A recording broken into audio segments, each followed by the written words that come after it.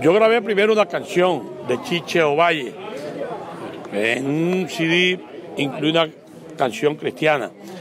Yo, yo voy a hacerlo, pero sin salirme de los parámetros de la música vallenata. La música va a ser vallenata, pero ya la parte de la poesía sí es cantada a Dios. Son cuatro acordeoneros, cinco acordeoneros que van a grabar. Va Wilmer Mendoza, va Bolañito. Ahorita vamos a grabar las dos canciones a fin de año. Pero ya yo tengo escogido el disco cristiano. ¿Saben quién me está aportando mucho, mucho, mucho para el disco cristiano? El doctor Luis Ángel Rodríguez, que también es cristiano, también es compositor, Luis Ángel, el otorrino, laringólogo. Realmente pues ya, ya vendrá pues no para este fin de año, para el año entrante, el, el, el CD completo de música cristiana.